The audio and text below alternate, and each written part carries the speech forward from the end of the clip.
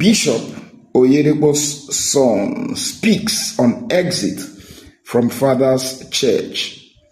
Isaac, son of Bishop David Oyedepo of the Living Faith Church Worldwide, aka Winners Chapel, has finally responded to his alleged exit from his father's ministry. In a statement he shared on his X account on Tuesday, October 31, 2023, the young man insisted that there are no complications in his relationship with his family, particularly his father, and that he remains a steadfast member of the Living Faith Church.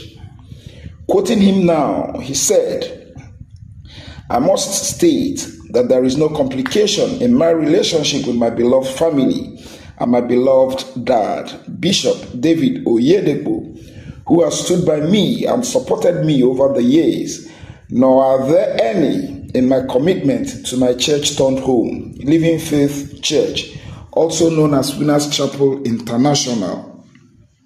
I remain a steadfast member of the Living Faith Church, dedicated to the service of the body of Christ.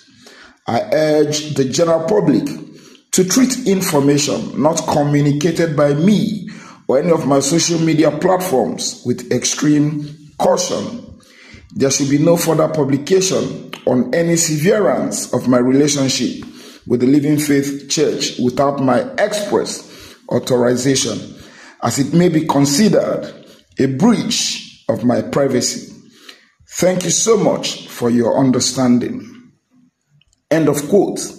Interestingly, prior reports had alleged that the younger Oyedepo had resigned his position as the youth pastor of Winners Chapel, although there was no official letter of resignation published, which expectedly generated a lot of buzz.